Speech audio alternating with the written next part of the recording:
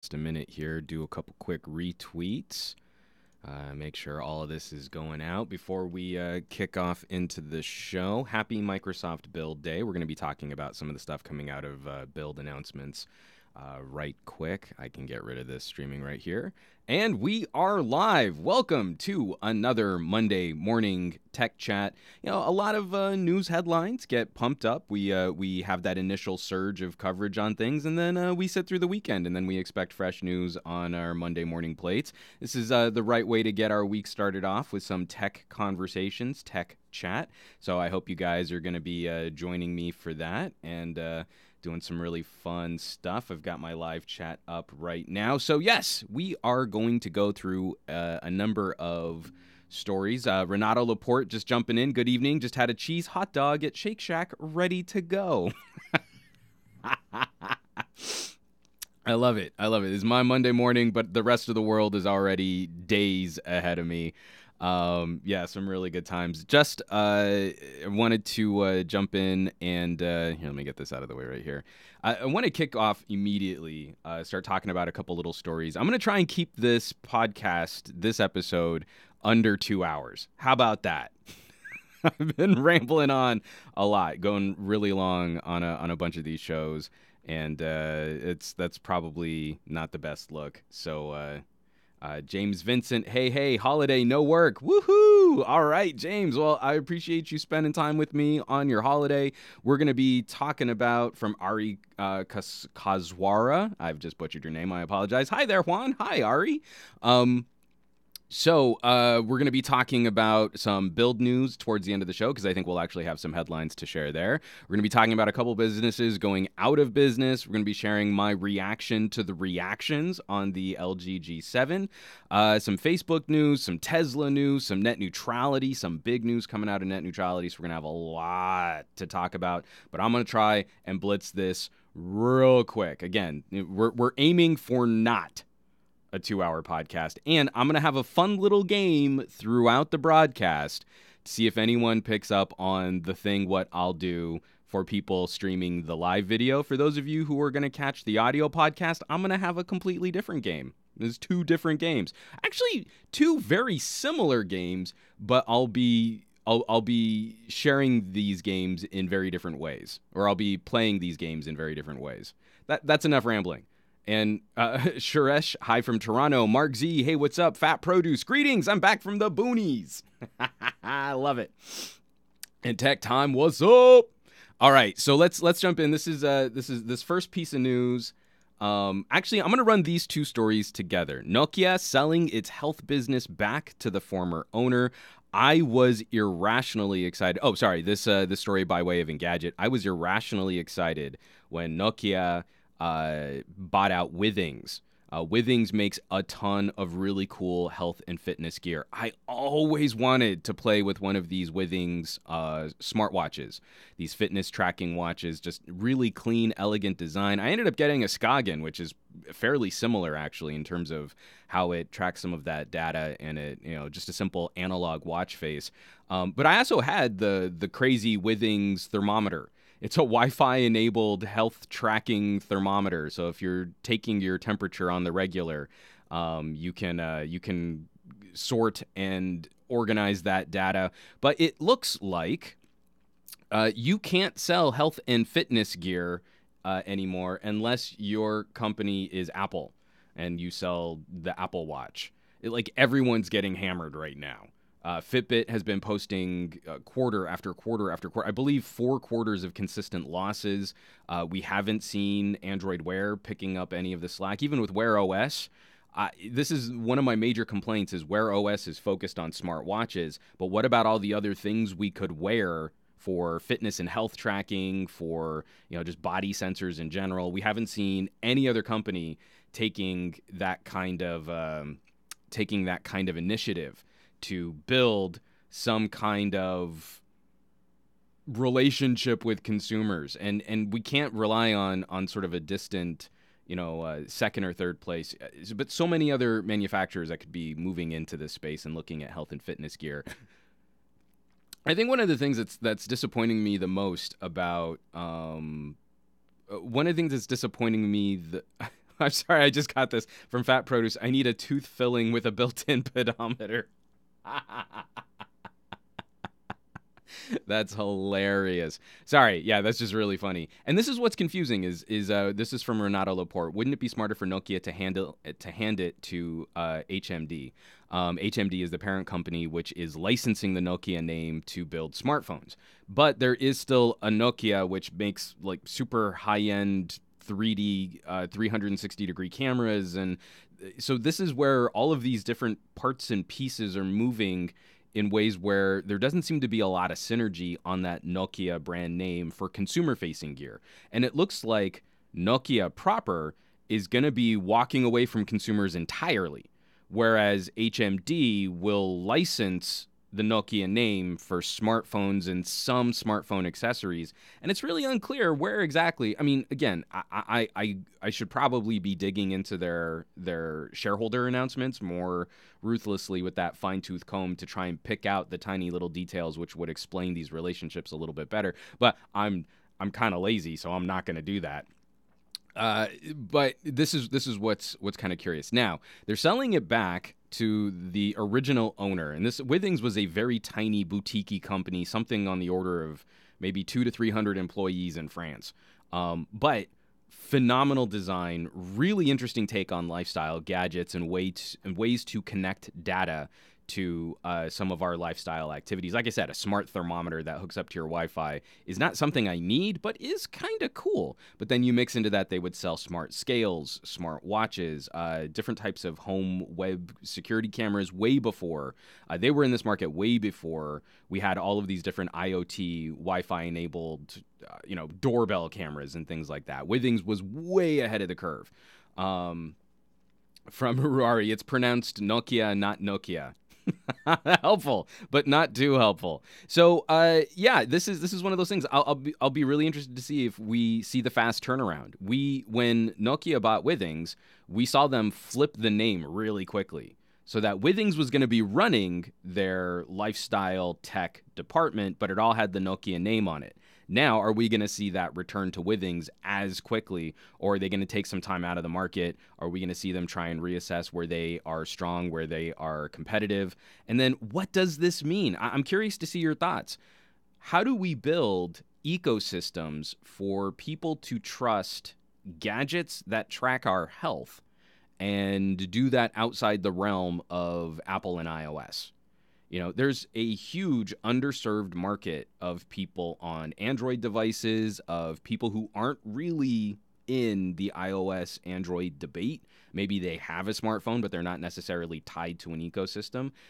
How do we man how, how do we move the needle? How do we build faith in a brand? How do we build consumer confidence in a brand and get them to execute on really cool tech, really cool gear? Share your thoughts, just what you think Withings can do to to continue making really cool stuff. I, I, mean, at the end of the day, that's what we want. We want really cool gear. And some of those steel smartwatches, some of the HR smartwatches, some of those things were really clean, really exciting.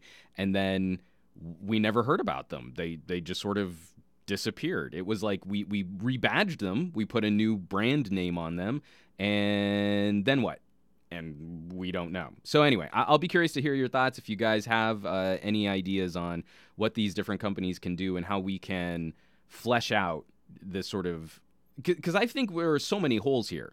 There are so many um, missed opportunities from some of these manufacturers. Instead of just trying to copy what a few successful players have done looking at where there are holes in the market. Like i keep looking at polar chest straps and wondering why there isn't a more gadgety version of that that connects with our our smartphones or smartwatches or plays in like Samsung's ecosystem or plays in Apple's ecosystem or offers some kind of solution that wasn't there before. You know, again, sensors in shoes. Why have a pedometer on your wrist? That's actually really dumb.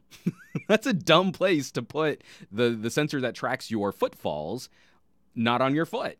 So why not go back to what Nike was doing way back in the day with shoe sensors? I digress. Anyway, Renato Laporte, they should all use Google Fit if Google Fit didn't suck. When the hardware is attached to a closed ecosystem, it won't work. Again, unless you're Apple, that's the thing that shocks me is people are willing to sort of extend this goodwill. You know, like Apple Watch first generation, not very good, but oh, Apple will make it better. No other company gets that that consideration. Every other company, we're going to be talking about LG in just a little bit. Every other company releases a product and it just gets pooped on by a majority of people unless you're Apple or Samsung. And then it's like up to the company to justify its own existence or anyone who's a fan of the company has to like defend that company and that's a major problem right now when we're so cynical about new players not even new players established players in the market too um, from uh, from Ruari. I've mispronounced your name. Nokia does. Oh, whoops! Live chat moving faster than I can read. Nokia doesn't have the same sparkle it used to have. My first Nokia was a 3310, had the 7650 camera phone and other mad Nokia devices like the 3650 or the N-Gage. Nokia just feels boring and safe now, and I agree. Well, for consumer-facing stuff, again, they're back-end corporate. Um, high end production gear, really exciting stuff. None of it seems to be filtering down into our hands. I'm doing grabby hands. Give me that stuff. Fat Produce, I wonder if any hybrid watches could be made with winding mechanics to run no batteries. I have no idea how you would do that with Bluetooth. I think you would always need some kind of power source, even for low power Bluetooth. But that's why I'm always so excited to show off my Skagen. I've gone through one battery change in over a year and a half since I've gotten it. Um, yeah, I've had it for a while and uh, yeah, it takes a watch battery, so that's a bummer. You got to throw out a watch battery, but it lasts for a stinking long time. Um, you and you never charge it. It's just a watch battery. That low power Bluetooth works a trick. Renato Laporte, if I had a simple Fitbit and a Samsung smartwatch, they won't play together. I need to be balancing my attention between two ecosystems. And if you're talking Samsung, then you might be balancing between Fitbit software, Samsung software, Google software, two different hardware platforms, and none of it really talks well together. Again, it's that XKCD comic I'm going to keep referencing. Someone saw an opportunity in that there were a ton of different standards to get something done and then they created a new standard that would be better and now there's just more more noise in the in the issue uh, from and also from Renato. Oh, you're talking about the G7. So I'm gonna I'm gonna come back to your comment, or I'm not gonna come back to your comment. There's just way too much happening in the live chat for me to get through it. Um, uh, let me sift up. There was another uh, another quick uh, announcement here from a company. This comes by way of the LA Times. This is a company I didn't even know about, and I'm a bag whore. Um, I would have been all about this company if I'd even known about it. This is LA Times maker of smart luggage goes out of business after airlines ban bags with built-in batteries. So this company is BlueSmart. Apparently they made a whole bunch of really smart, cool looking uh, luggage with built in batteries and GPS connectivity so that owners could track their bags uh, based on that power source and data connectivity.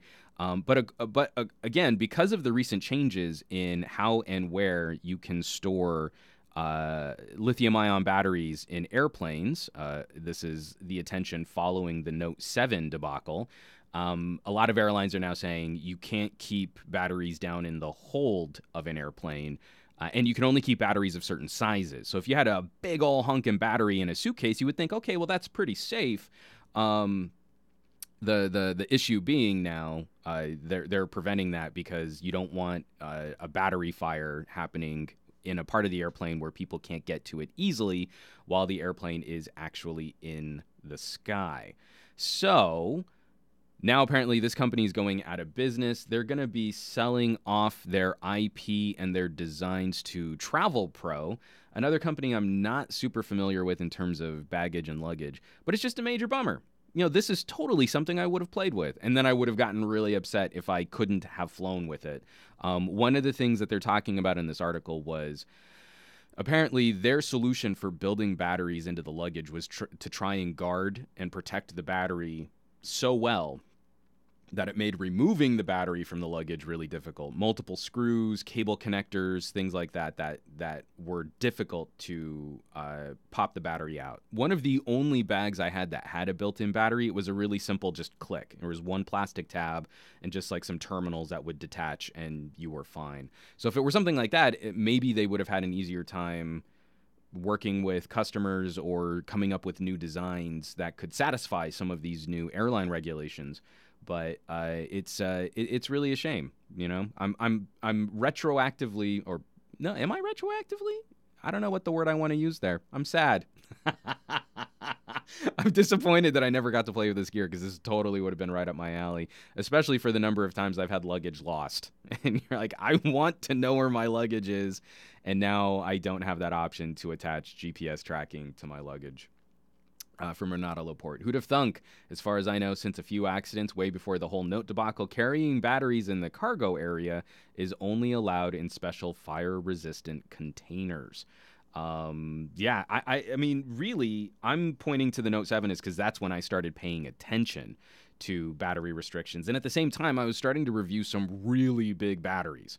So, uh, what is I have the Charge Tech? It's the one with two uh, actual electrical socket um, ports on the front, and it can power small appliances or TVs out in the field and I, I, was really disappointed to find out after I'd already started reviewing it that that's not a battery I could fly with. I got it because I wanted to have something that could power my really intense power sucking gaming laptop, and I couldn't really travel with it, but it still worked out a trick when I use it on like little uh, little film shoots or little production gigs. You know, you can power lights off that thing. You can you can keep multiple cameras running or keeping batteries charged. I mean, it, it works a trick for all of that. It's just a bummer that I couldn't, you know, put it on an airplane where a lot of my gigs require me to get on airplanes. So that's a bummer. True story. Anyway, uh, I don't know. What are you guys using for your for your mobile power? Uh, I, I, it seems like the fad of building batteries into backpacks and into bags has kind of waned since there are so many good um, mobile power packs out there. Is anyone still looking to shop a bag with a battery built specifically for a hold or a container in there, or are you just running USB cables like I am from one pocket of the bag to another pocket of the bag? Even though that looks a little messy, it's it's not proprietary or built into the bag. Let me know. Uh, I, I would be curious to see what um, what you guys think about that. From Suresh, uh, not on topic. What happened to Juan's real audio and real camera reviews? I know he also works for Newegg, but they just disappeared. I will cover that at the end of the episode because I have some news about that. From Matt Josephson, where is there an LG? Oh, sorry, Matt Josephson is replying to someone else again. There was a whole conversation about LG, which we're going to be talking about next. Um, from Ruari. I tried bringing my car battery from Ireland to the UK on Aer Lingus. They told me to feck off. I would have too. car battery. No, man, not okay. from Renato, last comment on this. To be honest, with everyone flying with a shady portable power bank, when something happens, it won't take long for companies to put more restrictions. So yeah, that's that's definitely true. Um, it's uh, it's one of those things. It's it's kind of like a my brain is failing me on these types of metaphorical styled comparison things because it's not anyway so what, what i was going to say is it's one of those things like when the news starts examining something you see more stories about it so it feels like there's more problems there than there really are or um, you know when when we're looking at some of the numbers behind different health conditions we're seeing those spike, but we're seeing them spike after diagnosticians have better tools to diagnose those problems. So, were there really more people exhibiting that problem, or was there just better examination of it? For the batteries, we're seeing you know more people flying with with battery packs. You know, people are tired of trying to look for electrical sockets in airports and sitting on the floor, so they're going to pack a little battery. And like my parents have three or four different sized battery packs for day trips, for you know traveling internationally. I mean, they're they're on board. My parents are pretty tech savvy. I'm maybe uh, they're just ahead of the curve, but. Um, with so so many more people, we would imagine that a ton of those battery packs are probably crap, and that we'll likely see more issues. But I haven't seen any significant uptick in problems so far. Knock on wood, fingers crossed. Let's just keep it that way. Um, from Gabaletta, uh, excuse me while I sort of wipe my nose there. From Gabaletta, to me, backpacks with built in batteries in them is a nice idea, but impractical at the end. Just buy a portable power bank and a bag separately. Um, I would uh, be inclined to agree, especially because I am a major whore. I'm going to be trying to put out a bag review on a new manufacturer, a new company that I just found, uh, and I, I, I love, I love, I have an unhealthy relationship with collecting bags and camera slings specifically. If you make a crossbody sling with I don't know three to five Velcro adjustable pockets, then I will desperately try to get your bag. I I adore them. I love them. Um, so I'm, I'm going to have another review on that out. But one of the reasons why I like that bag configuration is that it's really easy to put in a hunkin' large battery pack into a side pocket and then run cables through a camera bag to make sure that I can charge whatever I need to charge out in the field. And then also becomes really practical if I'm using one piece of equipment out of that bag, I can keep other pieces of equipment fully charged at the same time. So I am I'm a huge fan of that configuration. Um, um, from Matt Josephson, I had a Tylt bag, still love it. Uh, it was submerged by accident, so the battery was shot. I replaced it with an Anker power pack. That's actually another good point too. Is bags go out into weather and into um, into conditions, like especially if you like good field gear, like I do. This is taking me back all the way to my Boy Scout days. I would I would be less trustful of just a regular consumer backpack with a battery in it than I would be a hardcore field pack camera bag something that was designed to you know really tackle some inclement weather and, and some rough conditions. Um, but also from matt Joseph, josephson i like the ease of routing cables on a bag made for it. So that's a good point too. I don't have many bags that actually have good cable management outside of like your headphone jack so that's that's kind of a bummer. And from Blue Malicious, I think we found Juan's bag fetish. I don't I don't know where you've been. I, I've been sharing this for a while on my own channel. I I own that. I'm a bag whore. it's not you know, like not even a fetish. I just have that that closet behind me. You see that mirror door back there, overfull with bags.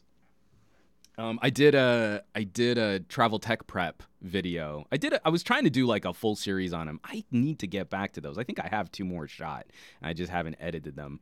Uh, but I did one on bags and just different types of bag configurations, and you can see half of my bag collection in that video, and it's more bags than the field of view of my camera can properly contain. So Moving right along from Fat Produce One, you are with bags like I am with hats. And it's not like I'm not into hats too. Let's get into the LG G7. I do not have one. I'm talking to the folks at LG about maybe trying to get a loaner, do some review, uh, some coverage on it. But I really want to talk about not just the phone, but sort of the reactions to the phone that I've been seeing so far. And, and just how, um, I don't know, the word I want to use is something like dispassionate a lot of the reviewers are new smartphone, LG, major manufacturer. We were in this really bizarre will they, won't they release a phone at the beginning of the year. Uh, LG is the global parent company, really trying to manage expectations on a new phone. Phone performance hadn't been very high at LG. Uh, the, the, department wasn't performing like LG wanted them to. Uh, shakeups with management, with the CEO. Um, really trying to get a toehold on what would make LG more competitive in the smartphone market, and a ton of conversation about them just skipping the G7. Uh, ultimately, what we got was the LG G7 ThinQ. Um, yeah, I hate that name. I'm just going to call it the G7. I think most tech reviewers are are are agreed there. This is this is not um this is this is not a good name for a phone and it's branding on AI stuff that I don't think any it's really going to resonate with anyone. Um but this is this is what I find interesting. We are in another refinement year. So I'm on the video. I'm showing the LG page for the G7. Uh, we know it's going to come with a whole ton of camera features that have been well established since the V10. Uh, we're seeing discussion on the new uh, speaker Uh, there's going to be a new chamber for the speaker, which LG claims is going to make uh, is going to make audio from the phone louder and clearer. Uh, they they have a pretty good handle on audio tech, and we we are talking about another quad DAC phone, so this will be another top tier performer for people who enjoy audio on their phone. And uh, one of the things that I think is really exciting isn't the shape of the screen. I'm not super excited about a taller, skinnier display. The the full um, aspect ratio on this display is 19 point, 19.5. Um, so so that's really tall and skinny, but one of the reasons why we're, we're getting to claim that is again because this phone has that little notch at the top, which really just blends into the notification shade. Um, so you can dock your speaker and your selfie camera. Uh, what what's exciting to me about the display isn't the shape of it, but what they're talking about for the display tech. So this display is going to have a quad sub pixel arrangement. So to to to get into the weeds just a little bit, to geek out just a little bit. You guys are familiar with display tech, RGB, red, green, blue, subpixels that make up all of the colors. You boost up red and blue a little bit, you get purple. You boost, boost up all of these colors together, you get white. So, what LG is doing here is instead of doing an AMOLED, which uses a staggered subpixel arrangement, um, the subpixel arrangement on a Galaxy phone or the V30, which also uses an AMOLED display, is what we call pentile. So the RGB pixels are actually spread out in a different configuration. So each pixel does not get a full R, G, and B subpixel. They're sort of they're, sort of uh, spaced and staggered so that you can make the manufacturing on that a little less expensive, especially in how uh, these these AMOLED displays are sort of printed out. So for the G7, to maximize brightness, there will be a white subpixel in addition to RGB. So that should make uh, the display slightly sharper, slightly crisper, and much easier to read when outside in bright conditions. Those are benefits. Those are exciting things for me to for me to talk about. So then you say, well, this is a phone that has top-notch audio there is no other competitor on the planet that can compete with the headphone jack on V series phones, and the G7 is supposedly getting the same hardware as the V. Uh, there is no other device which is doing this sort of quad pixel arrangement in the same way. So this is an exciting talking point, kind of like the Razer phone having a super fast refresh rate. That's a cool uh, benefit to have. And then just this is a refinement year, so we're we're cleaning up the look of other phones. Like I still have my G6. I still love the look and shape and feel of the G6, so they're going to make it a little thinner, make it a little sleeker, uh, clean up the forehead and chin bezels, all these things that consumers say they care about. So, what kind of response do we see for the G7 as compared to what we saw with, say, the Galaxy S9. The Galaxy S9 got this this big goodwill push, camera reimagined. Uh, it's the most amazing camera experience. Look, they finally fixed the fingerprint sensor location. OMG, this phone is great. And then after a while using it, the buzz kind of died down, and people were a little bit more candid with the Galaxy S9 being a very good phone, top one of the top performers of the year, but it's it's an iterative phone. I, I, I don't really think we've seen something exciting fresh from Samsung since the Galaxy S6. Every year from the Galaxy S6 has just been let's fix this and let's refine that. Let's fix this and let's refine that. And the Galaxy S8 represented oh, we're going to we're going to change the screen aspect ratio exciting because it looked a little different. But from Galaxy S8 to Galaxy S9, I don't really see it, guys. I don't see where that was an exciting push. So I want to celebrate Samsung that they they cleaned up and refined the few little gripes that I had with the Galaxy S9, but I'm not going to bend over backwards and start doing somersaults and cartwheels because a new Samsung came out. The flip side of that, it's really easy to pick on LG. So look at the tone of a lot of the videos coming out, these first hands on, like, I don't know. I just don't know that LG's doing enough. I want them to do more. I want to I want to see more. I don't see why you would buy this phone over a Samsung.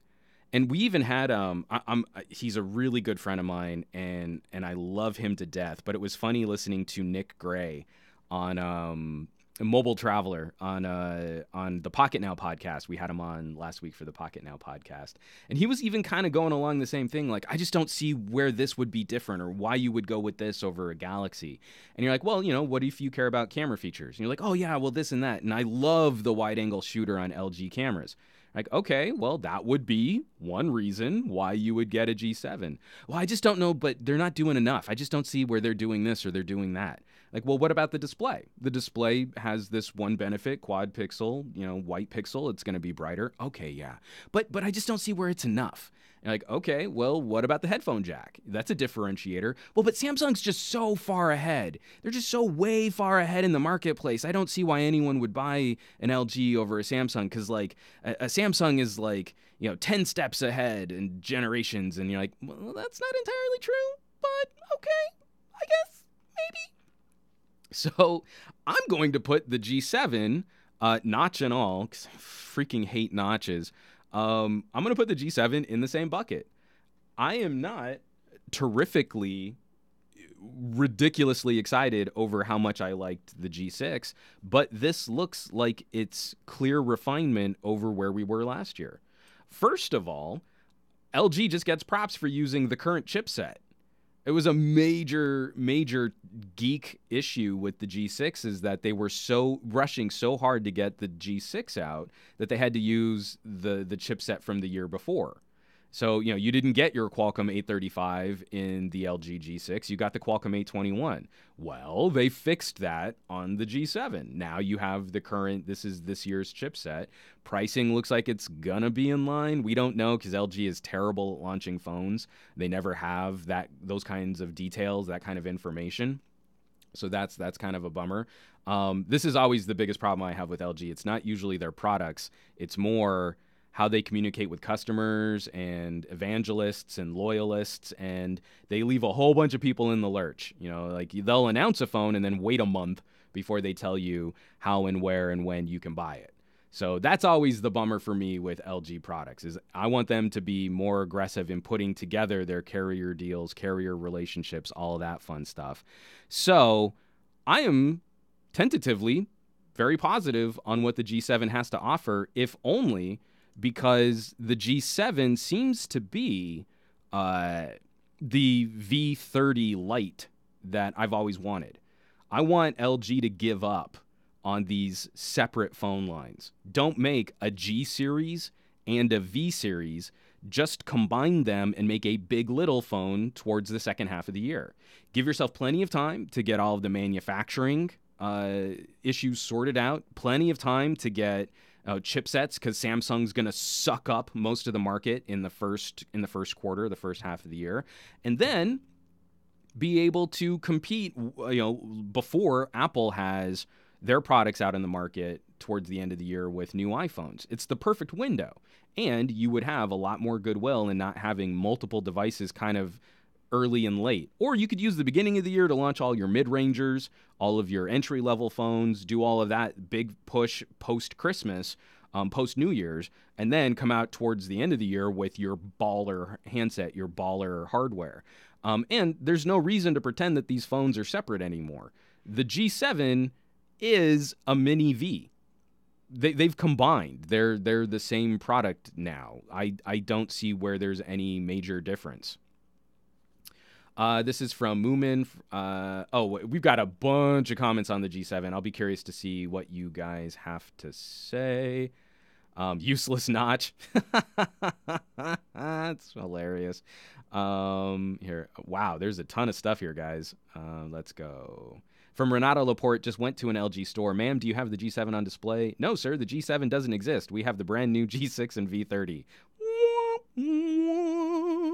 From Matt Josephson, I think the G7 is a huge step forward. I don't know that it's huge, but again, if you make the baby V and you touch up all the issues I had with the G6, then I'm happy. I just wish we still had phones with flat front faces. The thing I love about the G6 is I'm on the original, the first screen protector I got for for it back when this phone was brand new last year.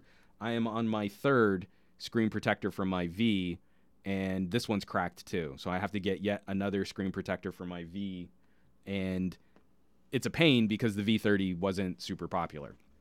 So I'm I basically only have crappy uh, crappy options for getting that replaced. Um, from Moomin, the G7 looks better than expected, but I can't give up the V20. V20 is such a monster. Uh, from from Goran Petrovic, I've never owned an LG phone, but since HTC removed everything I liked, the best replacement would be or should be LG. It's just I don't know their UI and quirks. Should I be cautious? Yes, you should. Um, really want to look at. I I am a huge fan of LG because I'm a hardware guy, and I I'm willing to live with some software issues. Um, a- any manufacturer putting out you know aggressive skins and looking at their upgrade uh, up, update behavior lg doesn't rank super high there i think that's that's totally fair but if you liked htc because of features like BoomSound and having a killer headphone jack and multimedia and content creation abilities, then LG has become the spiritual successor to everything that I loved about HTC back in the day, especially headphone audio. I cannot stress this enough. If you want like an actual best. This is not an opinion. This is not, well, I kind of feel that the sound. No, no, no, no, no, no. All that's BS. If you want the best audio experience for your nice headphones, the only game in town is LG. Done. Uh, I, I, wish we could say that ZTE was going to be rejoining that fight, but we know they're having some problems. Um, so again, if if what you cared about was headphone audio, uh uh-uh. uh LG, that's it. End of discussion. Everyone else is a distant second. I don't care that Samsung bought out my all time favorite audio manufacturer, Harman and AKG. I don't care. They've got some really nice Samsung buds in the box, earbuds in the box, but they have not incorporated into the phone the same kind of care and attention to high quality audio that LG has. So LG wins so long as I get that quad DAC. Oh, and this is an important point too from Fat Produce.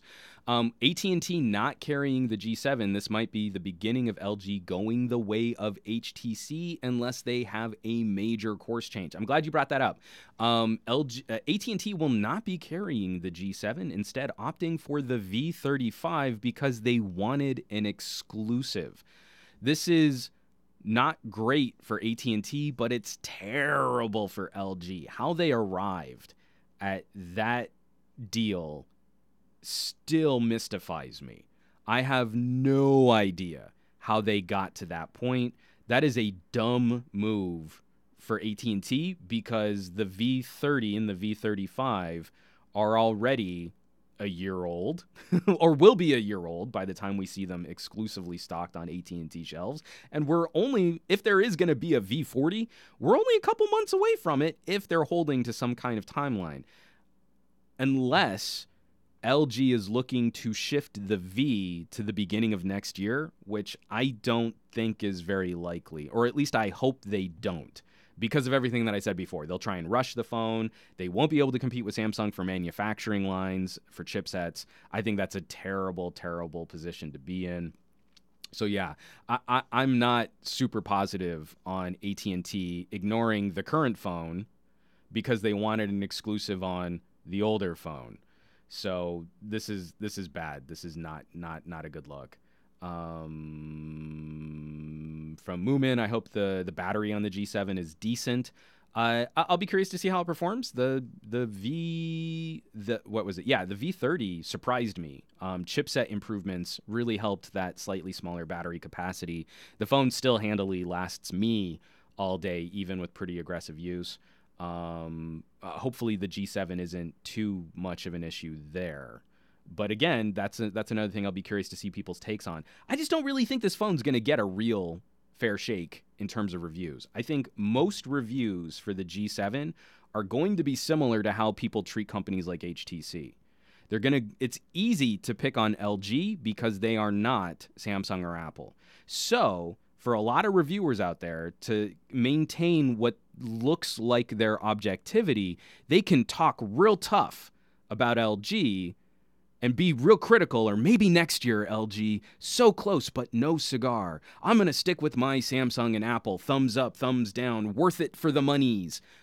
It's really easy because you're not going to piss off a lot of people if you say if you say critical things of LG.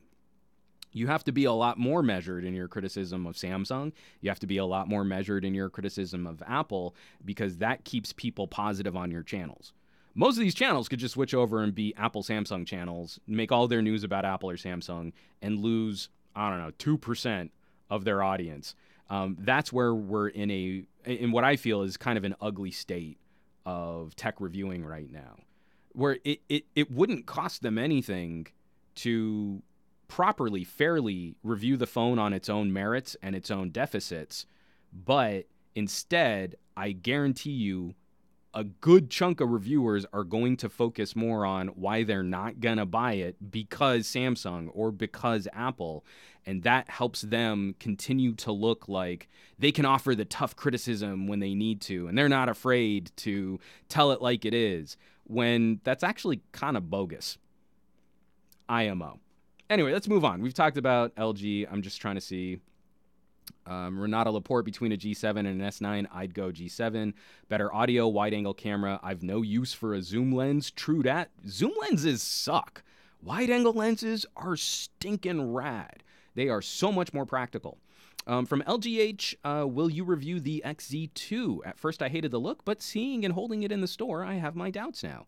I am trying to get my hands on a Sony as we speak. Um, I do have a Huawei P20 Pro lined up, uh, so I won't be getting my hands on it this week. I'll probably be going hands on next week. Again, being in the United States, that phone was a little bit trickier to get than I thought it would be. Um, but I'm not sure how long I'm going to get it, so I'm going to focus on doing a P20 Pro uh, camera review and audio review, and those will be Patreon exclusives.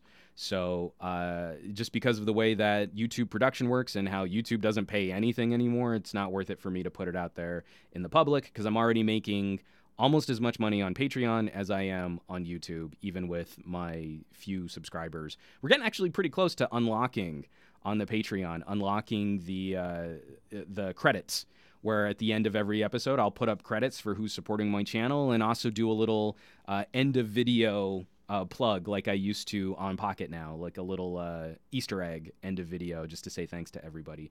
So Z2, XZ2 is definitely on my list because I flippin' love my Xperia XZ1 Compact.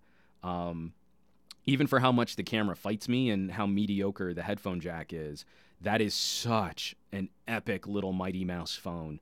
It's the only thing that properly competes against my love for the iPhone SE.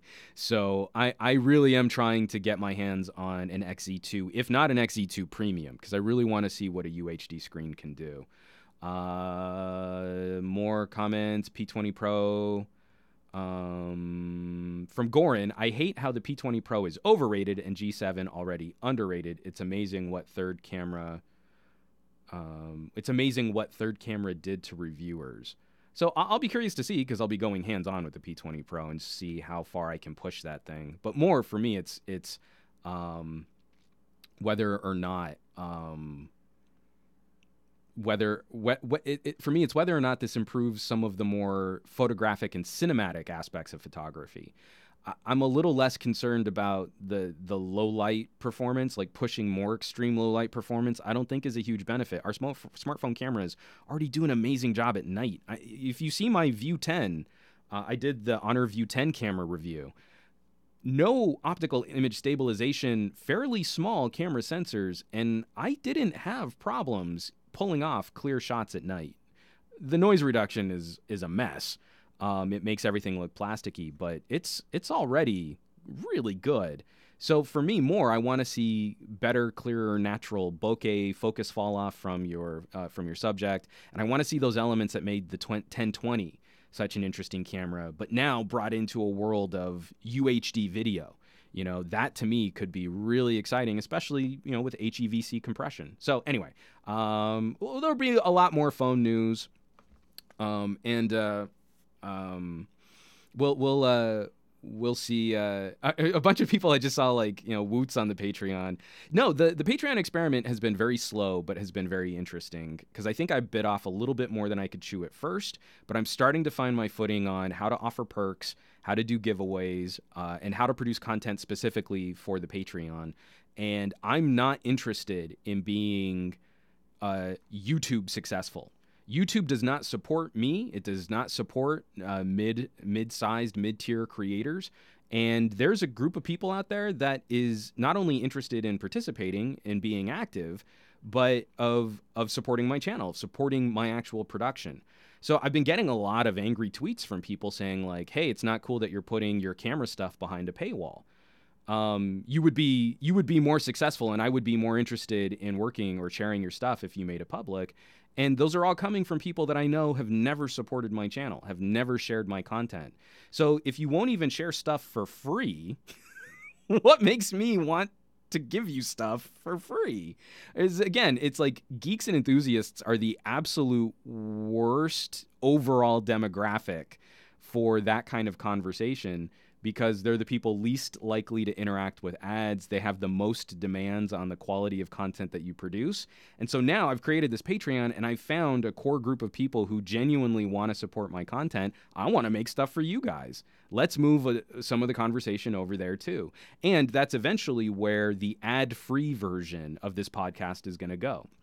So if you like listening to listening to this podcast and you don't want to have to interact with ads, then they're going to get a no ad version, an RSS feed just for them, a no ad version of the SGGQA podcast, the interviews that I've got lined up, and just all the other conversations. Like when we have a geek debate, that's where it's going to go, and it's going to go ad free. So, uh, uh, moving on, I have talked way too long about that, longer than I intended to. G7, I'll let you all know if I, if and when um, I get my hands on a G7, but it might end up being like Samsung. The only Galaxy phone I'm interested in reviewing is the Active. That's the only Samsung phone that looks like it might be made for me. I'm not interested in any other curvy glass backed, flimsy, fragile phones that cost eight, nine hundred dollars. I want the smaller screened Galaxy S9 with a rugged back and a larger battery. All of those things are the active. so that's the only Galaxy phone I'm interested in reviewing. If it takes me too long to get my hands on a G7, then I'll, I might end up skipping it and just going to the next V because the V is my bay. That is my absolute um, bestest, love it device. So, uh, so we'll see. Um, sorry, I just saw this from Creative School. Sony can make bigger camera sensors, so why why don't they? That's a very good question, and I don't know that anyone has a hu- uh, has a good reason for that. But the camera sensors that they put into their phones are flipping phenomenal. It's just they can't write camera apps to save their lives. IMO. Okay, moving right along. This is another story that got a lot of buzz, uh, especially towards the end of last week over the weekend. NVIDIA pulling the plug on the GPP. This is the GeForce Partner Program and uh, this is this is actually from NVIDIA, the NVIDIA blog. I'll have a link to this in the show notes. A lot has been said recently about our GeForce Partner Program. The rumors, conjecture, and mistruths go far beyond its intent. Rather than battling misinformation, we have decided to cancel the program. Now, let's play a game. I love playing games. If the GPP was so benign, why is NVIDIA taking their ball and going home? Huh? If the GPP was so benign, why don't they just release what the partners were asked to do? The actual documents, just release the partner program and let us take a look at what your requirements were for. if the GPP was so benign, why did so many of their manufacturing partners start looking at ways to build new brands for other products that incorporated AMD kit? So, this is exactly the bullshit that we were talking about and having such a restrictive. According to rumors and according to some of the leaks that were put out there about the GPP, This radically th- this would have given manufacturers a few uh, manufacturers of GPUs a few perks in terms of advertising, in terms of partner programs, what Nvidia was going to promote, and access to certain developer toolkits um, earlier. Uh, especially in terms of the uh, software that NVIDIA was putting out too. I'm grossly oversimplifying this just to get through this quickly because I don't want to spend a ton of time on it. But if but the flip side of that was let's say you had a gaming focused brand for your GPUs, you could not use the same brand for NVIDIA GPUs as you could for AMD GPUs. And we saw this when Asus put out a press release saying they were going to create a new AREZ brand for AMD GPUs that would be kind of up there with their ROG brand, their Republic of Gamers brand. But they couldn't be under the same label because reasons, because of the GPP. So, Asus was on the hook for creating a whole new brand, knowing that it would probably suffer in the market opposite Strix and ROG because those are established Asus brand names, and the, you know what kind of support they were going to get on the back end for really trying to promote that? None. So they were having to foot the bill for continuing to include amd in their product lineup. That's a really crappy thing to do. That is that is an anti-competitive thing to do. And that really gets close to some kind of regulatory oversight when we start looking at you know trade and uh, and uh, how how products are sold. So again, do do do any of you have any any faith that the GPP was really as benign as Nvidia was making it out to be? What I, what I think is hilarious too is uh, we saw a whole bunch of undie twisted back and forth. Um, so so what's hilarious? The uh, the different people involved in in commenting on computer hardware, gaming, PC building, stuff like that, like Linus and and was it HardOCP, a couple other tech outlets. You know, these headlines came out and you're like, oh yay, GPP is dead, and then people from like sort of the harder edged line of PC building were like, you don't get to celebrate. We're the ones who did all the work. You just sat back and now you're taking credit for the GPP being killed. And it's hilarious that like the, the, the gaming market has been so bifurcated on who did enough to help kill the GPP and who didn't do enough to kill the GPP.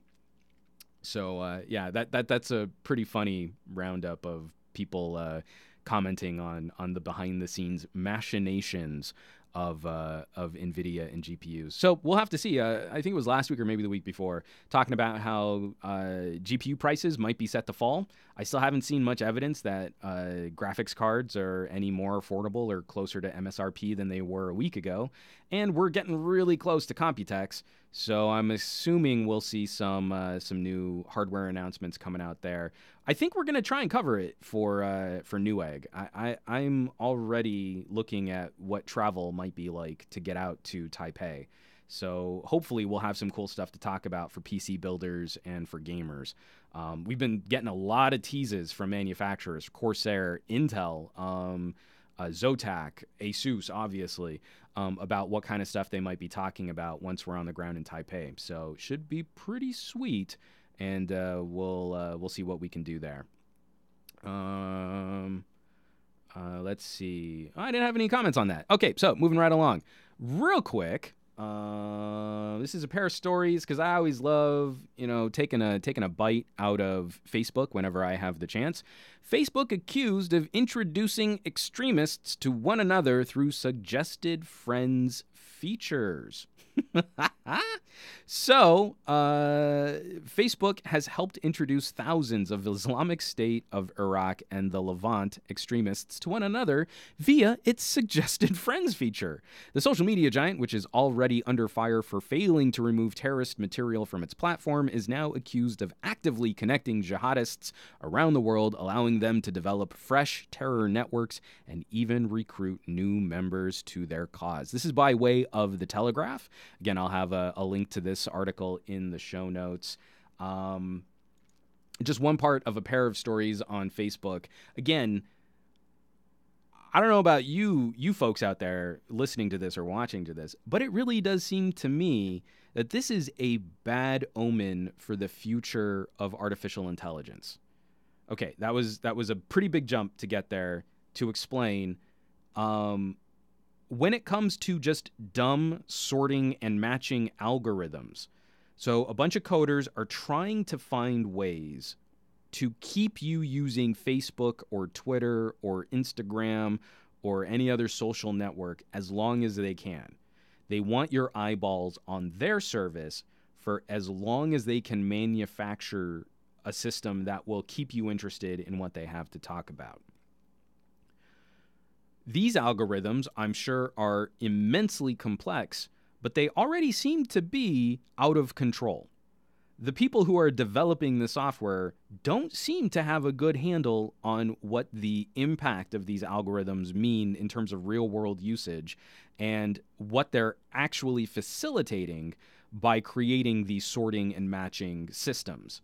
Uh, it's kind of like when Microsoft put out one of their AI chatbots and that chatbot just went out and consumed a whole bunch of stuff on Twitter, and within a day was was just vomiting just the most hateful, uh, bigoted, racist speech because of what it was consuming on Twitter.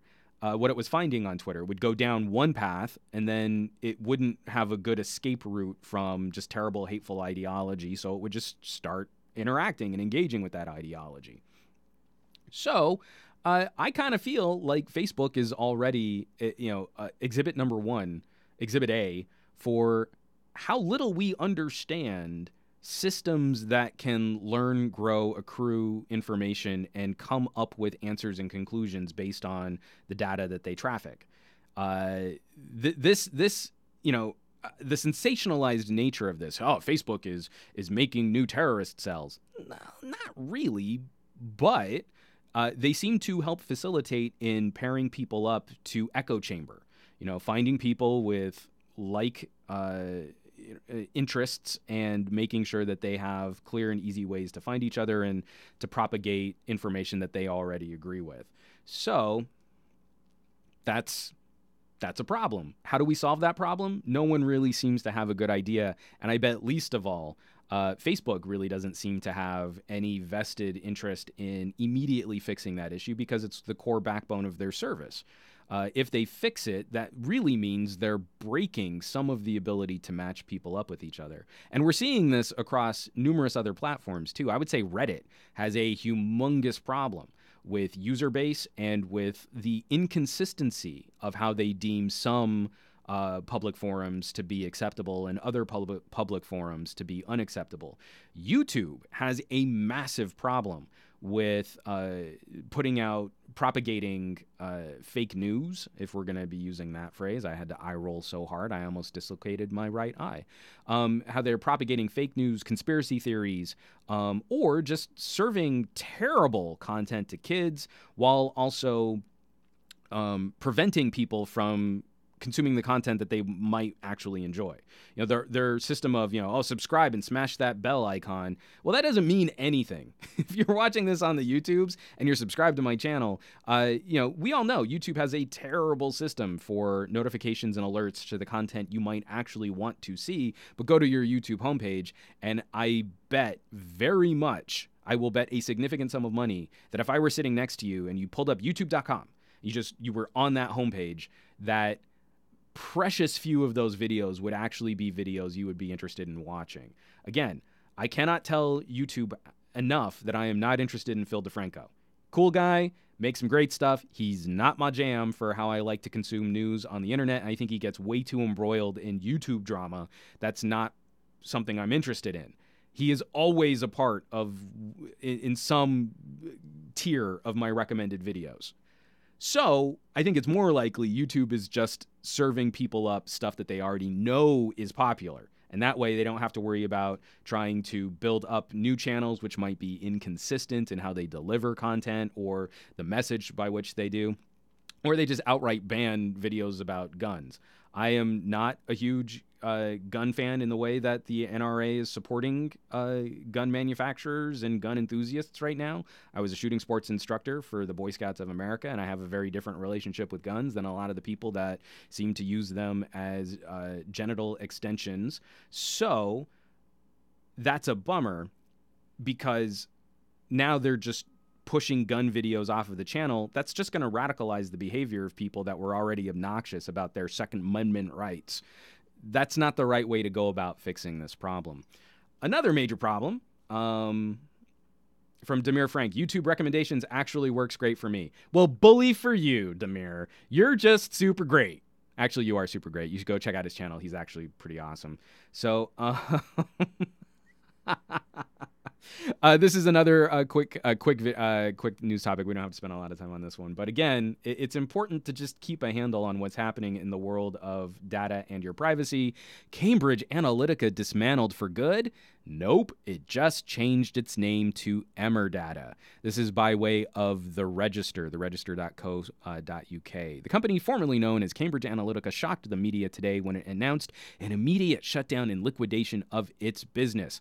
That shutdown, however, may be short lived as official documents indicate those behind the controversial analytics company will be launching as a new firm with a less toxic brand. Yup. I mean, we shouldn't be surprised. Data is becoming the new credit. So, what happens with banking institutions, credit checking companies? I think John Oliver did a piece about this. He got deep into uh, conversations about like uh, Equifax and stuff like that. But now your personal data, your marketable data is kind of going the same way. Uh, it's um, it's not surprising. Uh, we'll file this again, like I said on the Board at Work podcast. A lot of this news filed under not surprising, still disappointing. Um, so yeah, be be on the lookout for multiple firms to rise. I think from Cambridge Analytica being liquidated, uh-huh, uh-huh, uh, we're going to see a lot of uh, we're going to see a, a, lot of minor players try and rise up to fill some of that data scraping need, data scraping need. Uh, and of course, if the people backing Cambridge Analytica are just rebranding, well, then that's going to be an easy play too. So be on the lookout for headlines. I don't know. Excuse me, maybe in another year about Emerdata in another scandal involving ripping off your consumer data. All right. Uh, like I said, I didn't want to focus on that too much because I've got two stories about Tesla. Um, one kind of interesting. This one, I'm not entirely sure how to feel about this because we're, we're talking free markety stuff. Tesla starts brutal review of contractors, firing everyone that is not vouched for by an employee. So uh, this is by way of electrek.co. Over the past few weeks, Tesla CEO Elon Musk has been warning of a focus on efficiency at Tesla's Fremont factory, and he has been expressing a specific concern over contractors and subcontractors working at the automaker. This is via an email that Electrek got. I have been disappointed to discover how many contractor companies are interwoven throughout Tesla.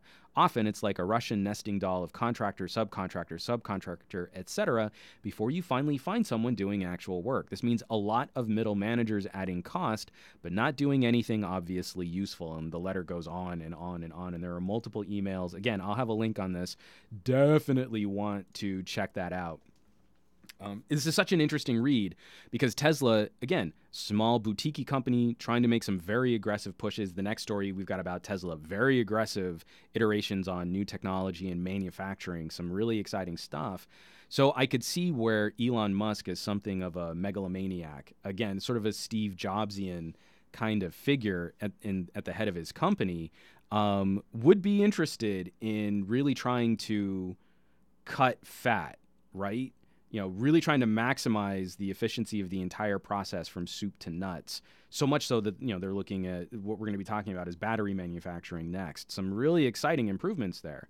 But the thing that I think bothers me about this is uh, it feels a little unprofessional or it feels a little punitive to be going through a contractor review in a public employee focused fashion. So one of the further emails is, you know, they're looking to fire contractors unless during this review an employee vouches for the contractor in question. And that puts the reputation of the contractor on the Tesla employee who's standing up for them. And contractors are not always going to be consistent in everything that they do. So let's say an employee vouches for a contractor. The market takes some kind of hit. Contractor can't deliver in the way that they originally set out to do you would say, okay, well, the contractor should have been able to foresee that, or the contractor should be able to find a solution around it. That's what the contractor's for. But now it's also tied to the employee that vouched for them. And that's the thing to me that is making me n- not nervous. What's the word I want to use? Is making me anxious, is making is making this feel a little unseemly. How do you how do you quantify that? How do you protect uh, how do you protect the employee in question in regards to them putting their necks out for someone or them vouching for someone else's business or work or behavior. And and that just seems unfair. Um, and, and it seems kind of petty coming from coming directly from Elon Musk. Again, huge amount of respect for the guy, and he's done some incredible things. But every now and then, you get some of this little pushback. Eh, you know, that's it's important that our economy, our society have people who can act as disruptors. But man, does that mean those are exactly the kinds of individuals that I do not think I would ever want to spend much time with or work with directly or have a relationship with because that is not my jam. That is not my speed. So, um, from Ruari, a Tesla Model S is nearly 200,000 euro here in Ireland. Madness. Uh, from Adita, doesn't the government provide subsidies for Tesla owners though? And then for Ferrari, even after the subsidies, it's still insane money. Plus, our government are a shower of knobs. oh, Ferrari, I kind of feel like that's a sentiment that many people can express today. I will handily you know, handshake with you that our government is a shower full of knobs. Um, but this is this is what this this is what's going to be sort of critical about that Tesla story. So Elon Musk, uh, you know, again, sort of a Jobs megalomaniac, you know, type A, intense, sacrifice everything else about his personal life to manage the businesses that he works with. Uh, this this headline is inaccurate but the the process improvements are still incredible. So this is the first story I saw on it. This is coming from nextbigfuture.com. They have not corrected um, th- this uh, uh, this headline. So Tesla making Model 3 battery packs in 17 minutes, down from seven hours. So that's not the true improvement, but the improvement is pretty substantial. Um, I actually did pull it up on on. Uh, oh, are you not going to go back to Reddit? Come on, go back. Nope. Okay, it's dead. Never mind, folks. But oh, there it goes. Okay. So um, I heard the 17 was a mistake and that it's actually 70 minutes. So that's the actual process improvement if you go through the earnings call. So from seven hours to 70 minutes. So from seven hours to uh, basically an hour and 10 minutes. That's huge. And that's what's exciting about watching what this company is trying to accomplish. I don't believe in the market cap on Tesla. I don't believe their valuation is accurate. I think there's a lot of speculation in the market. But when we're talking about a battery process improvement that's radically faster, almost seven times faster, uh, that's a huge push in the right direction, especially as we're watching these manufacturing centers start to pop up more and closer to where the cars are actually assembled. It's one of the big issues I have with hybrids the the carbon footprint in manufacturing a, hi- a hybrid car causes people to spread out manufacturing all over the planet, which creates a lot more pollution that that car has to work off while it's out in the field, especially at a time where Americans are being dumb again. Way, way more sales on sport utility vehicles and light trucks. Um, because we apparently don't have any kind of memory for the last time we had um, an oil rise, a gas prices rise, and all of the headlines here in in California were hilarious. Oh, I'm having to drive my SUV to the pump, and it's so expensive to fill up my car. Like, okay. And we saw a huge rise in sales of fuel efficient vehicles and hybrids. And now that gas prices have fallen, oh, I'm going to go back to buying an SUV again because I, I can't think more than 10 minutes ahead of what I've got to do today. Uh, dumb, super dumb. And uh, I, I love listening to people complain, well, electric cars just don't have the infrastructure, you know, so it's just not as good. And sure. But I guess, you know, this is one of the things that I hate about the current state of conversation about consumer electronics, consumer appliances, consumer gadgets. Well, it's not completely perfect in exactly the way that I currently use the thing I already have. So it's just not good enough. I just can't do it. It just, I, I won't. And you're like, well, then yeah, you're going to hold back progress. I saw another article. I was actually going to put it in the rundown. You know, like carbon carbon emissions are still on the rise. Temperature is spiking in uh, global uh, is spiking faster than global estimates. We're going to see even more runoff, temperature shift. Uh, that's going to cause major issues with you know uh, exaggerating storms, you know, weather conditions, disease spread, food population management. All of that stuff super bad. So what do we do about it? We go out and we buy more SUVs. Wah wah. But this is this is the happy side of the Tesla story. If you were looking at Tesla battery manufacturing, this to me is one of those things that enforces why you might want to own stock in Tesla as a company. Because the Model 3 battery pack, getting the manufacturing time down on that is super exciting because they've got to start making more of those cars. The cars um, are not uh, being delivered as as quickly as anyone would like. But those manufacturing processes are also going to help reduce costs for things like um, their home batteries. So you can get Powerwall and stick it up in in your garage, and hopefully that will either increase capacity or reduce the cost of investing in a home battery solution. And there was a new uh, piece of legislation. I seriously doubt it's going to go through, um, but just where where some of uh, the local politics scene is at, California is looking to mandate that future homes being built will include solar. It is ridiculous to me that uh, states in the Southwest are not making a more aggressive push on solar. We've got great subsidies, but too many people are hanging out in this. Well, I'll wait until solar's better. Well, solar is always going to get better. You can't not buy forever. and it's one of those really obnoxious things. Like I'm in a condo right now. I would love to be able to to retrofit or to to go solar. But the house, uh, you know, the houses in the neighborhoods that we're looking at, at buying or moving to, I, I'm I'm going to be pushing hard for either pre-built solar on that house or of making it a part of an early loan on retrofitting and improving that house to go directly into solar. And I'll be looking at fitting it with a battery too uh, so that we can stay as as much as we can off of peak usage rates uh, for for our neck of the woods. In California, it gets real bad. You know, it, it's May, and we're already in some super hot weather, some patches of of mid 90s. When it comes August, I won't be surprised if we hit 115 in the valley regularly, let alone maybe even a peak at 120. So we'll have to see how far off I am there. But if Tesla can can reduce the manufacturing costs and the manufacturing time for this type of technology, yeah, that's going to be some real good money for them coming up soon. Uh, we've got a bunch of things here. Let's see. Um, I don't expect much from a man from Tesla company that respect more Thomas Edison and actually doesn't know anything about Nikola Tesla. I don't know what that means. From Rari, uh, there's a big push here in Ireland for hybrids and electric cars, but most of our energy comes from fossil fuels. You Americans have it lucky when it comes to driving a car compared to Ireland. Um, well, we're still pretty heavy on fossil fuels too, but we are working to minimize coal. I mean, like just the market itself is working to minimize coal. So everyone who voted for coal jobs, that wasn't a smart play uh, from LGH. Driving is indeed very cheap in the US compared to most European countries.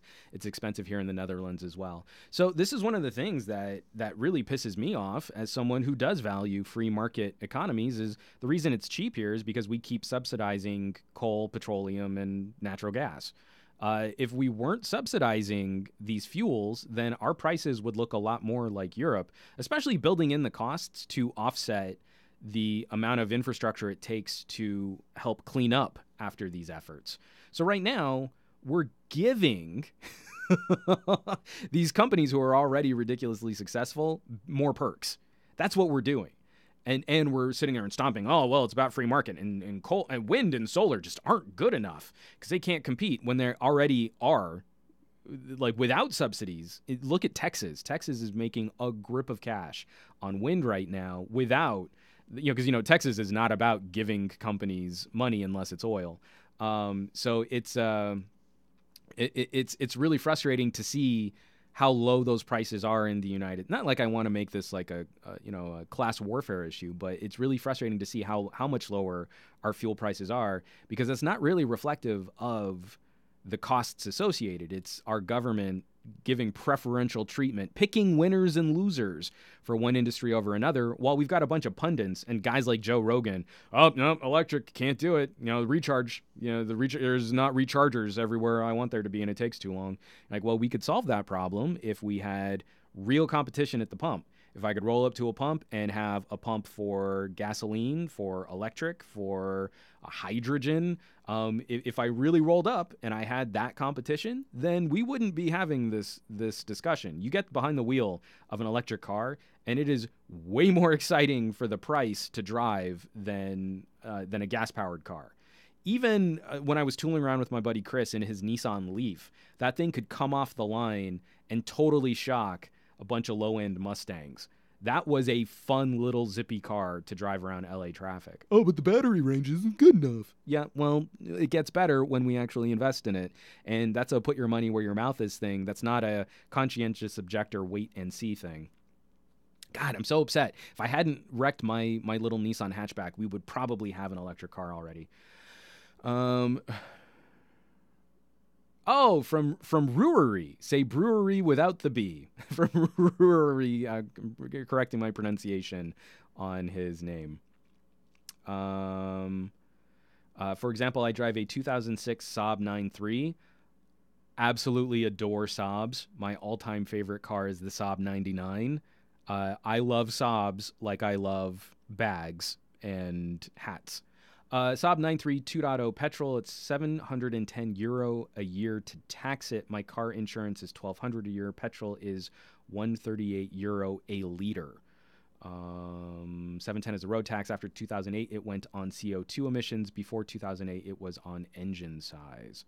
Again, I, the Eurozone has some major issues with car manufacturers being able to game uh, the metrics on that kind of stuff. That is one thing that doing a little bit better there, but we're doing a little bit better here, but it's still worldwide. We're not really doing anything to address the major issues that are plaguing uh, some of these climate change situations.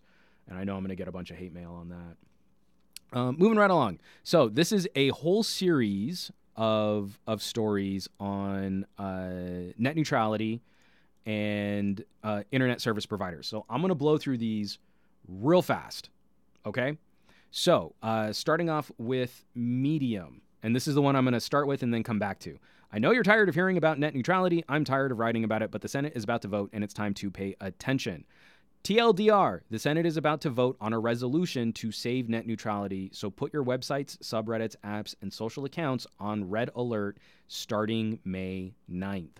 I'm recording this on May 7th. I would really like to see some activity, some discussion on this, because we've just got to push I think one or two GOP members over into this resolution vote so that we can actually take some action against net neutrality. After all of the headlines that were coming out about how net neutrality is dead, it wasn't dead, but this is the bureaucracy at play, and this is how things function when we get, or dysfunction when it gets to DC. But we're yet again in another holding pattern where this is now one of the last stages to fully enacting the removal of net neutrality.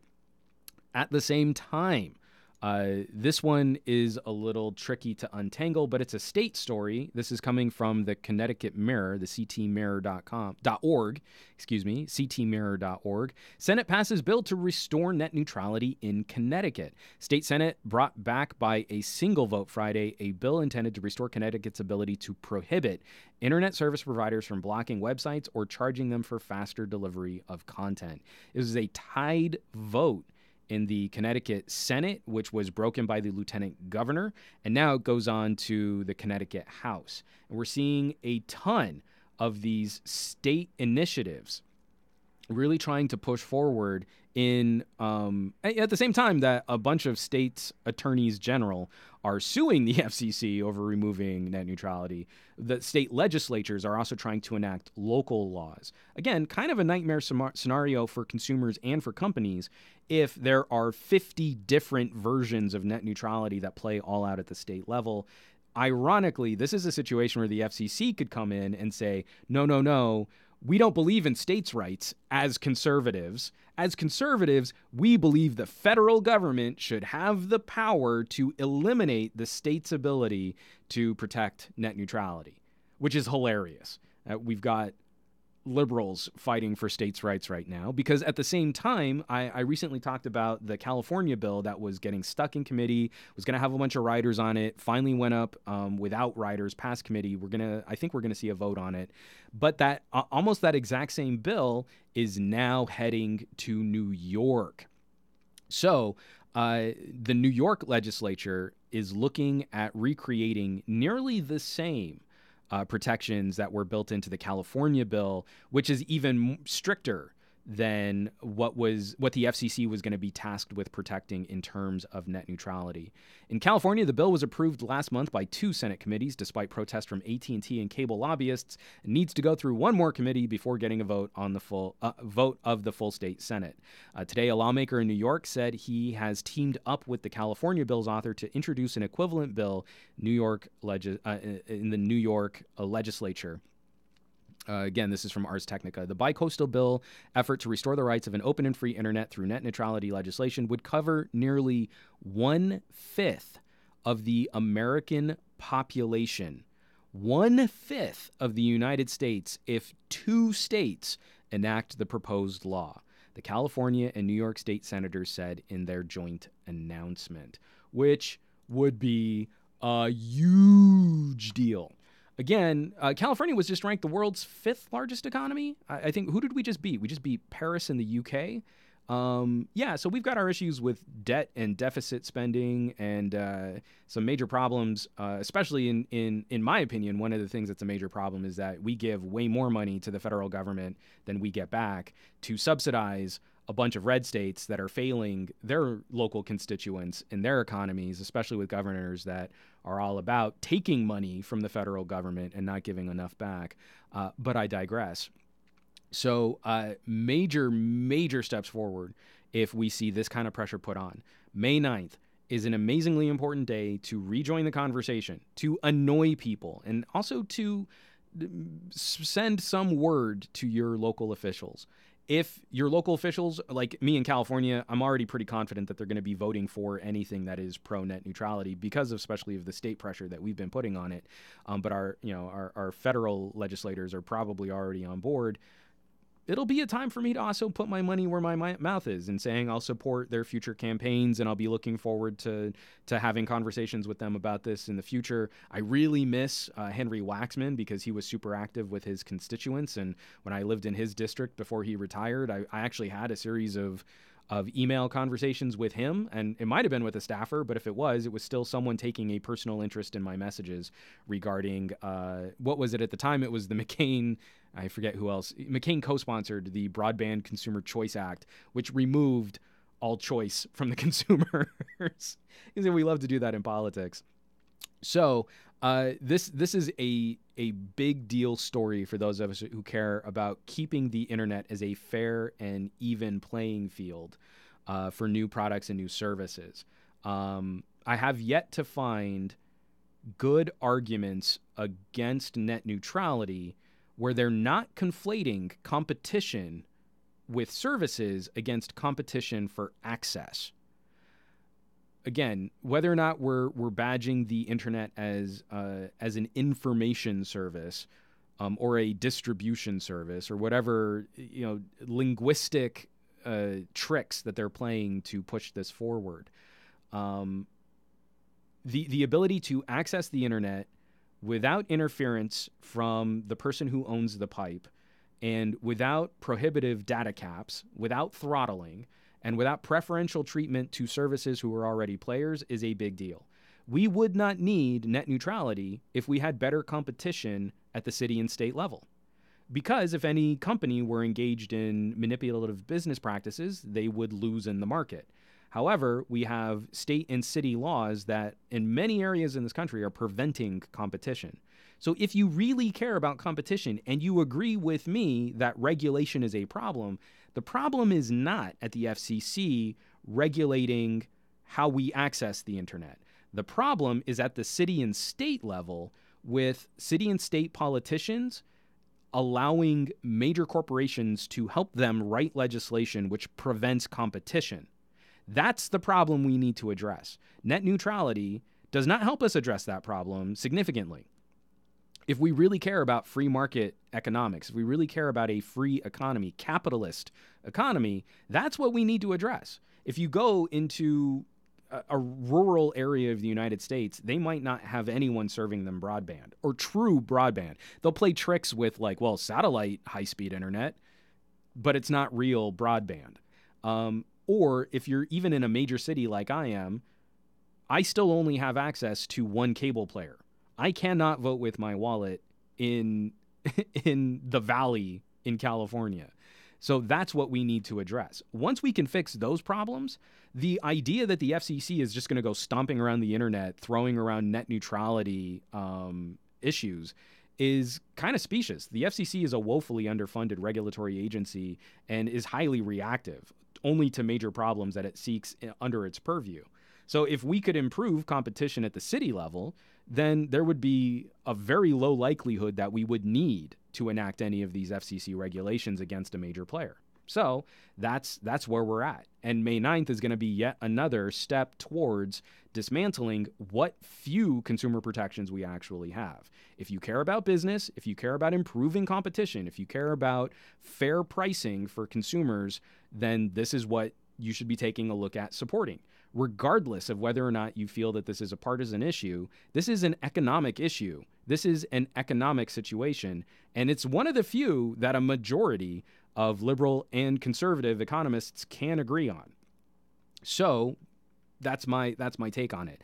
I would still very much be interested in anyone who has what they feel is a good faith argument against net neutrality in terms of this business space, in terms of how killing net neutrality and giving up preferential treatment to the top players of the internet service economy can improve competition for services on the internet.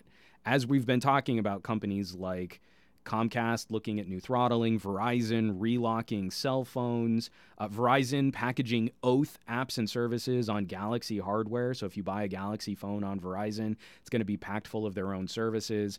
Again, where we feel that this will actually improve situations before we fix the issue with real competition for the connectivity space.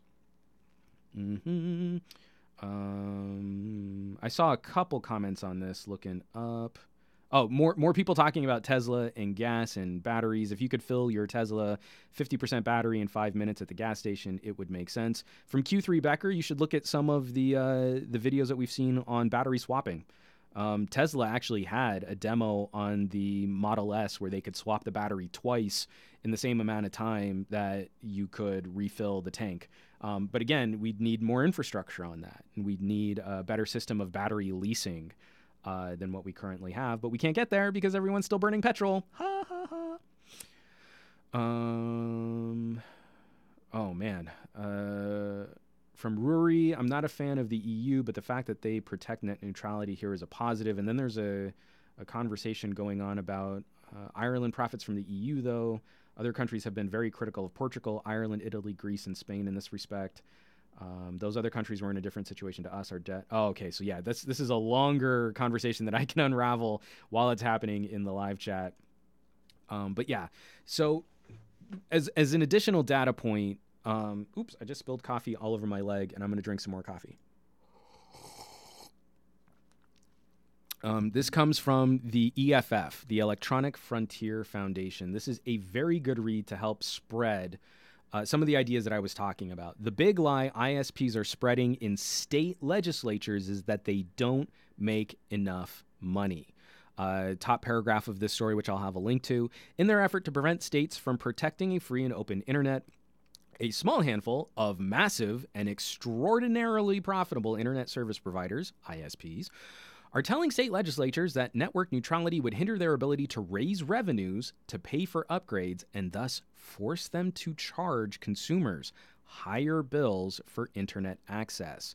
This is because state based network neutrality will prohibit data discrimination schemes known as paid prioritization, where the ISP charges websites and applications new tolls and relegate those that do not pay to the slower lane of internet traffic.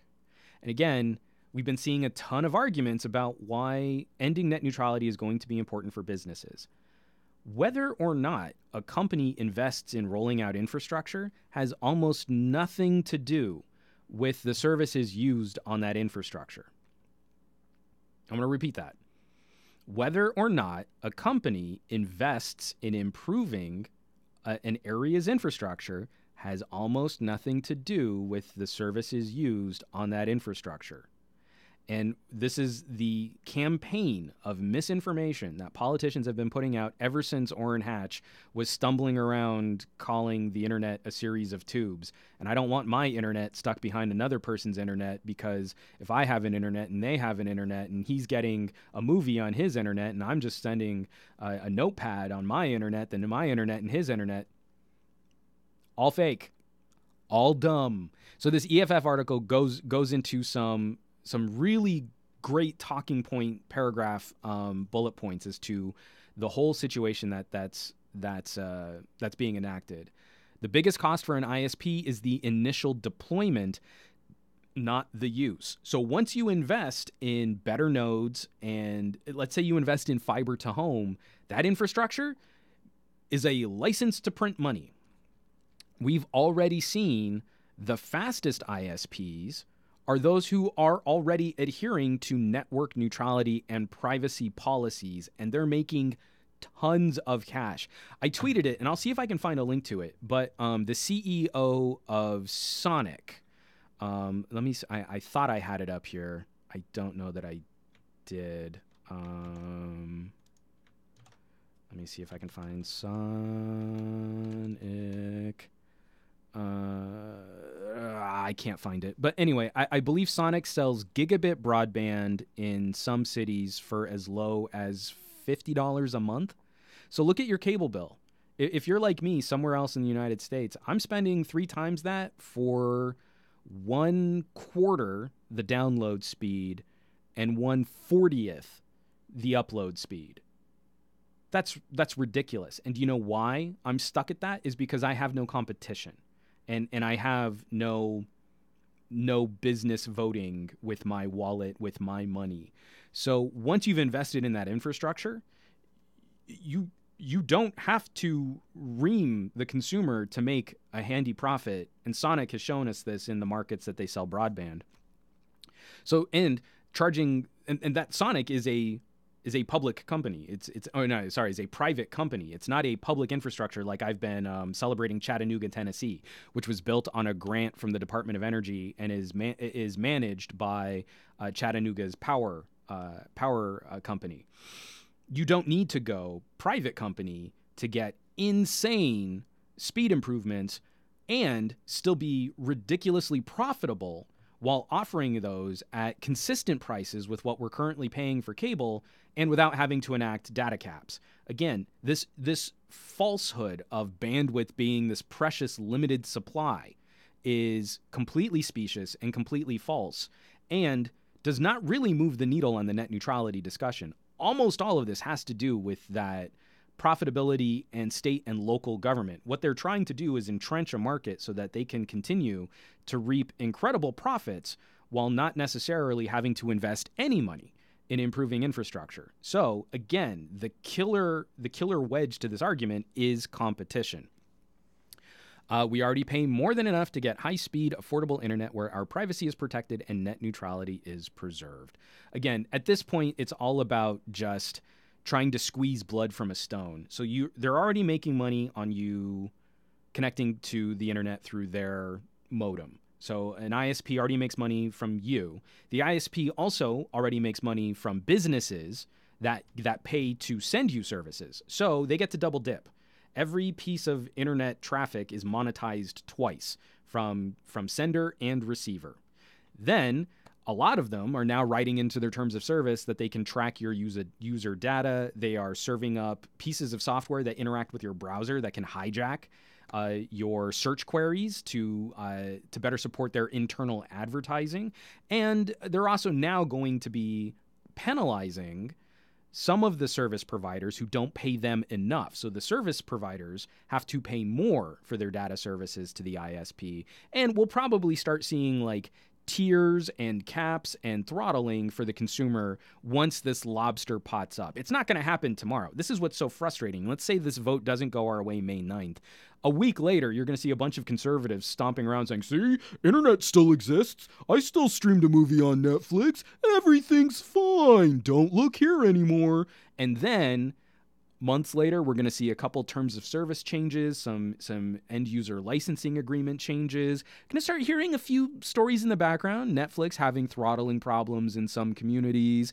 Uh, hulu or amazon working out deals with how they can incorporate into you know uh, carrier or isp infrastructure we start hearing about like like paid prioritized data like AT&T is doing where you know some companies don't count against your data cap and some companies do or some companies get throttled or you know the video streaming on Hulu looks amazing but the video streaming on Netflix is only 480p you're going to start seeing those percolate and start rising up but by then it's too late. They already have what they want. And even then when we get an administration change at some point, even if it's another conservative administration, if we were to try and change that, it would take us years of fighting. The the original open internet order was a fight 10 years in the making before we got the bare minimum consumer protections at the FCC uh, under the Obama administration. And these things aren't that strict.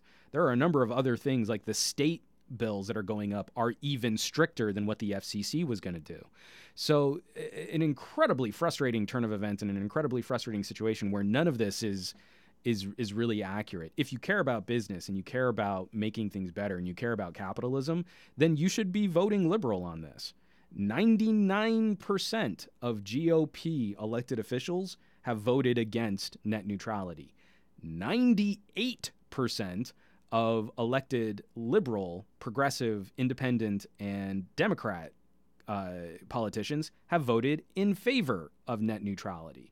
There really isn't an argument to be made here that I found that reconciles those differences and helps us untangle or unravel why conservatives have a good faith argument to be made here. Please, someone join this conversation with information that might help flesh out the other side, but I just don't see it. I really want to know why someone would support this outside of just my team's winning, so Tiger Blood. I, I don't get it. Nothing about this points to good business practices. okay, let me cover one more story, then we'll go into um, uh, this is this is a pair of stories coming out of uh, SlashGear.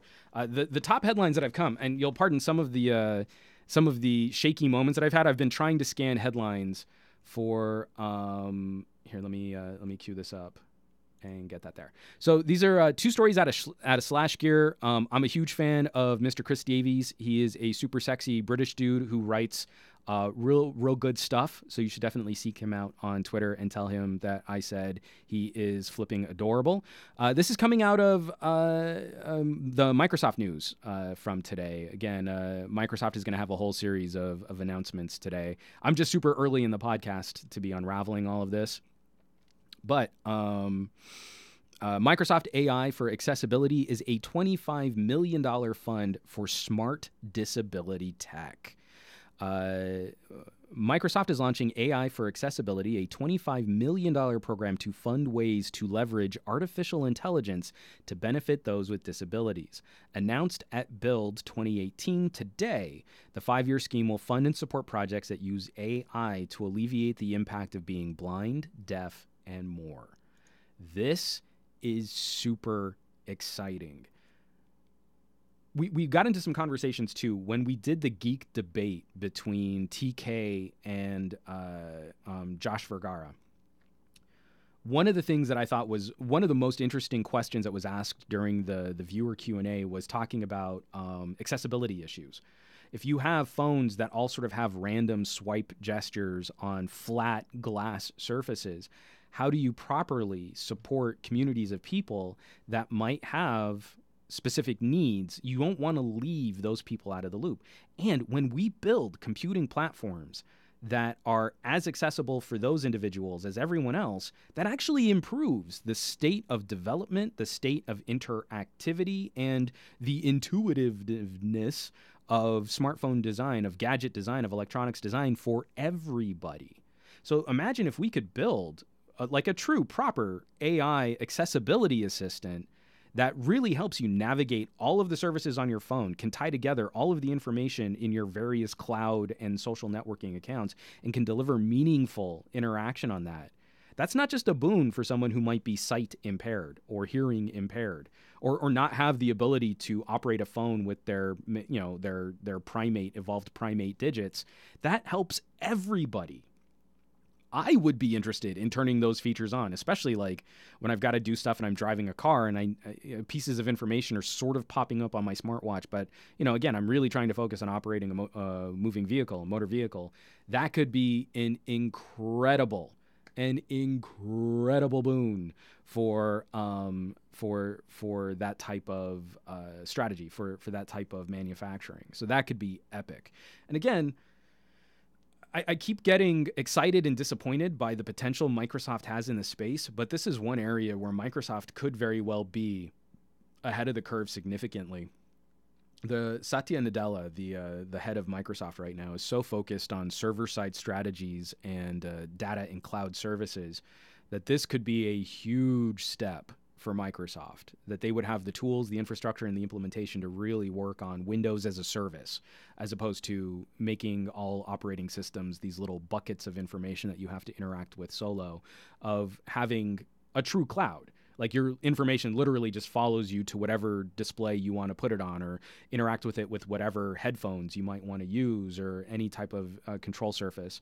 And if they can improve Cortana as the the front facing interface for that, that could be that could be pretty epic.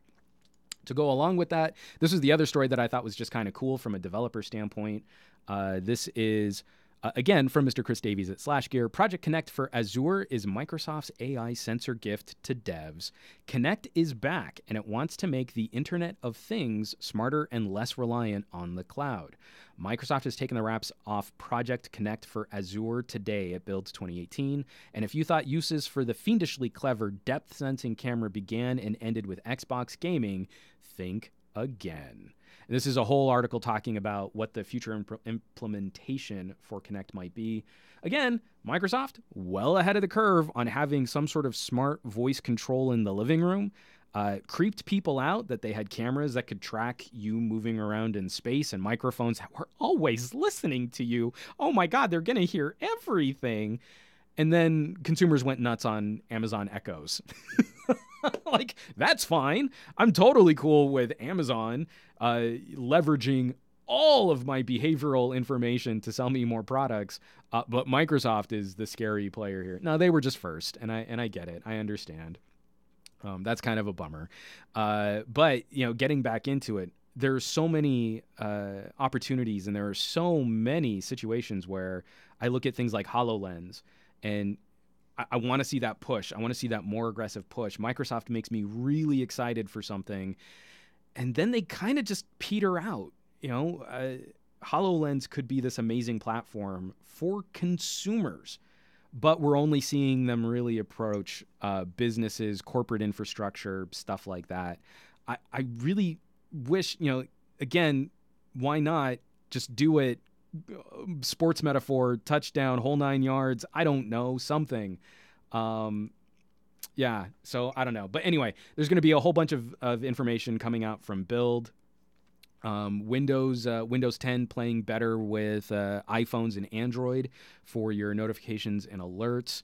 Um, and I think I've even seen some other news about some of their future AI and uh, Edge uh, incorporating smarter assistant features into web browsers. So some cool stuff could could happen there too. Uh, Edge is actually not a terrible uh, browser. Uh, I've been using it at uh, Newegg because uh, like we we might have a, a manufacturer's laptop on the table, and it's not like I took the time to fully set it up and install a whole bunch of stuff. It's really just like I need a browser, so I'll throw on just because Edge is there, I'll use it, and it doesn't suck. Um, you know, Internet Explorer is was terrible. Edge, not bad. I still prefer Firefox, but um, yeah, it could be uh, could be some nice steps in the right direction. It's just more. I really wish we could see Microsoft iterating more aggressively on the consumer facing side of all of this uh, equipment. So I'm going to take a quick sip of coffee here, and uh, I have a couple Q and A issues. But if there are any questions coming in uh, that you want to talk about specifically, I am at an hour 45, so doing better than talking about the news in two hours. Ha ha. Um, so uh, let me see. From Fat Produce, all we would need at this point is Mag- uh, Majel Barrett Roddenberry's voice for the next generation of accessibility interface. Yeah, it would be really nice if we could just sample her voice from all of uh, the Star Trek computer um, uh, computer uh, interactions and uh, create like a working profile of that. We could be pretty close though with some of the stuff that Adobe's been doing with voice modeling and voice scanning. Could be really scary coming up. Uh, what we can make people say that they didn't actually say. Uh, this is from Tech Leathercraft. Do cellular 4G providers fall under the current net neutrality regulations? Verizon, T Mobile, under their cell service. So, what's hilarious is the original OPO, the original open OIO, sorry, the original open internet order, I believe, left off wireless infrastructure.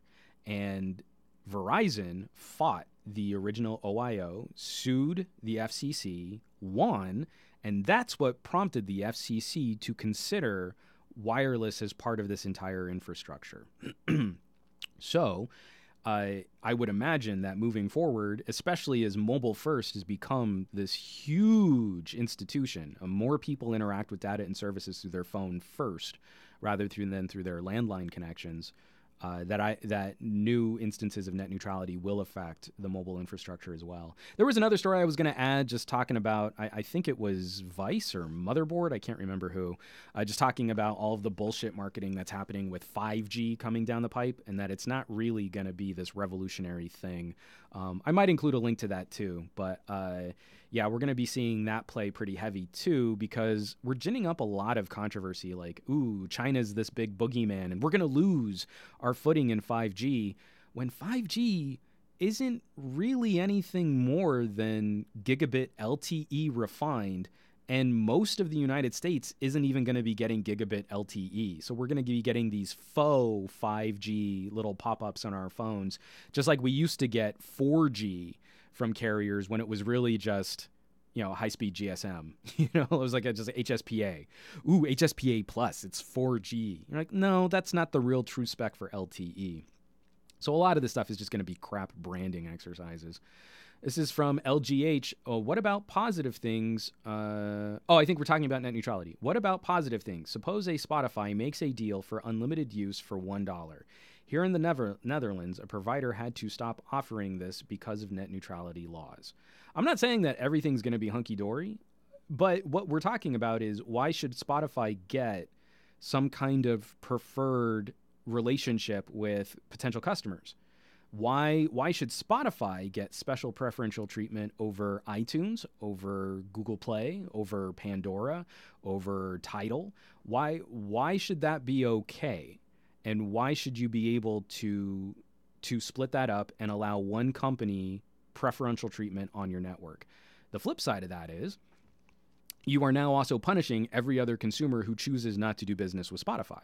So they don't get any special consideration for their music listening. This is exactly why I was not a fan of T Mobile's binge on plans, because then T Mobile gets to be the outlet that picks the winners and losers you as a consumer will now have to choose between supporting the service you like or saving a little bit of money by switching to a server uh, a service that T-Mobile has offered preferential treatment to.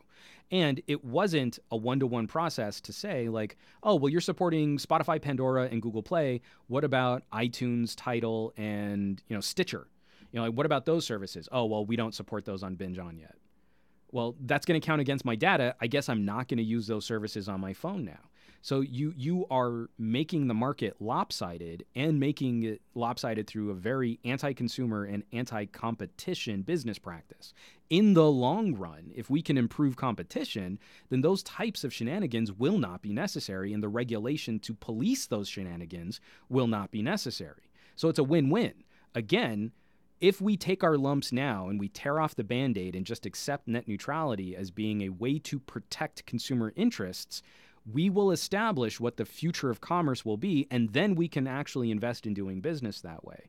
If we keep playing this pendulum swing g- game, we're going to have all of these holes in the market as one administration does this and another administration walks everything back and, and tries to unravel it, and then the next administration tries to enact it all again. In those transition points, corporations will have huge influence over what the next phase of that's going to be. And that's why we as consumers need to say, this needs to be enshrined as an institution so that we can monitor it, we can have oversight over it, and we can protect it. Then from there, we can actually create the next generation of products and services and know how to do business between consumers and corporations. Right now, we don't have that. We don't have that. Um, we don't have that safety. Uh, so from also from LGH replying, I agree with the ban of the Spotify service for the very reason you mentioned. However, the government will say we will manage this, and it's hard to argue against it. But what what we can't just say the government. What are we saying? Are we saying the government is going to police products and services because that's not what the United States net neutrality is trying to enact. United States net neutrality policy, Title II regulation of the internet has nothing to do with touching any services currently available on the internet or any services which might be available on the internet. It is the classification of the internet, the difference between an information techno- uh, uh, service or a technology service or a distribution service. So that the government isn't this one thing the government is a humongous collection of tiny little organizations that all have varying degrees of power. And the FCC is one tiny, underfunded little regulatory agency within the greater confines of the internet. Net neutrality will not step on any of the products or services available.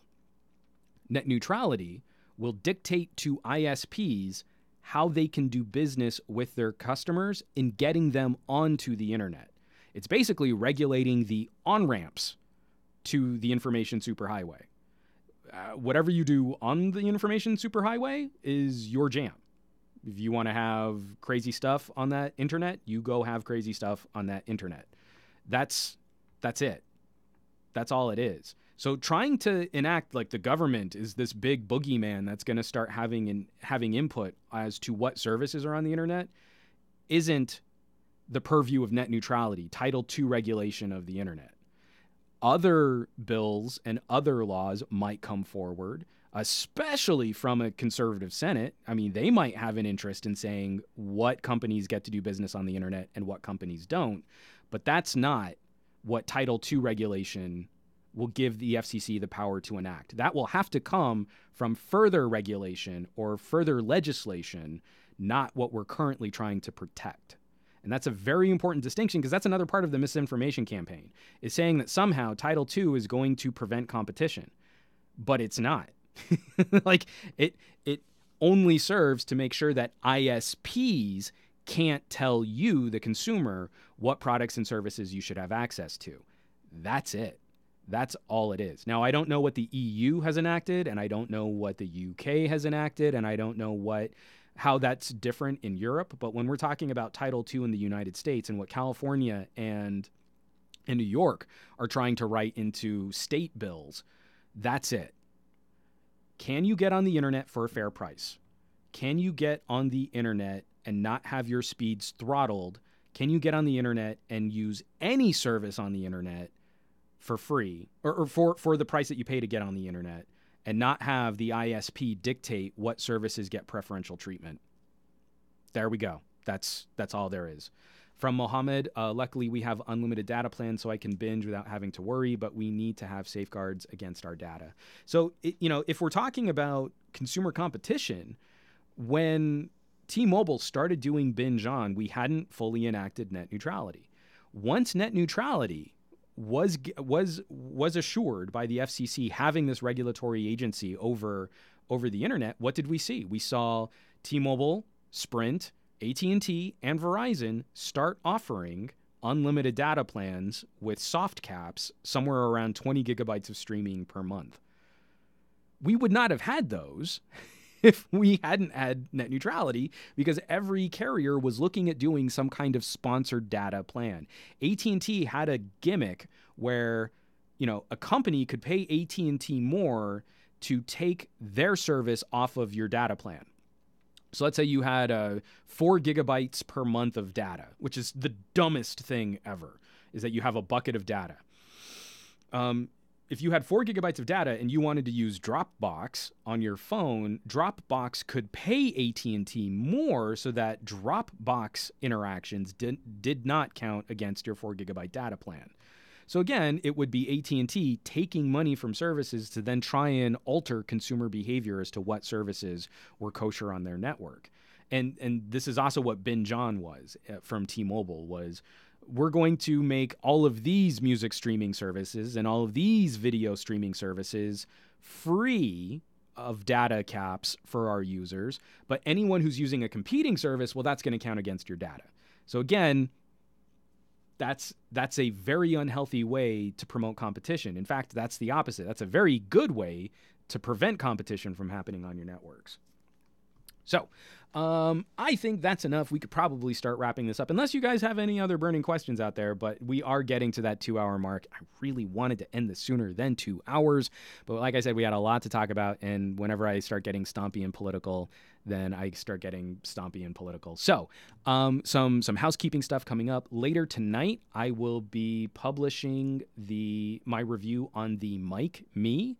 Uh, this is a $400 studio grade large diaphragm condenser microphone in a rugged shock mount housing for mobile production, vlogging, uh, video production, podcasting, you name it. Uh, so, some major questions at play as to whether or not. Um, uh, whether or not this kind of investment is really going to be the the killer kit you need to produce better audio when you're on the go, especially for the price point, because uh, some some interesting pros and cons, especially with a market that's heating up finally for high quality audio. I- I've been super excited about this space lately.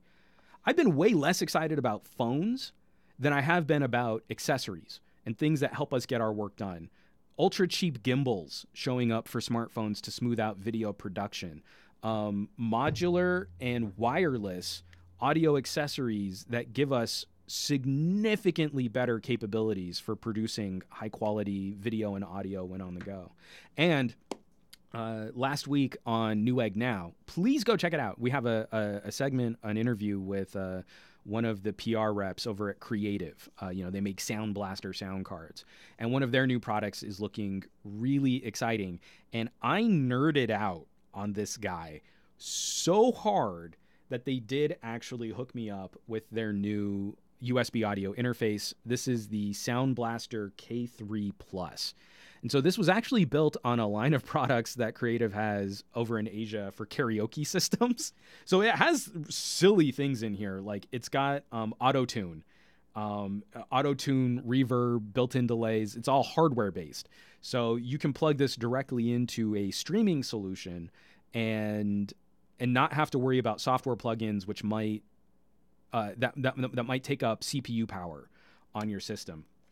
But one of the cool things, and you know, again, XLR connectors, phantom power, uh, you can power professional grade microphones off of something like this. But one of the things that's critically exciting to me is that they were able to do that with gain stages that are all powered through a normal USB connector.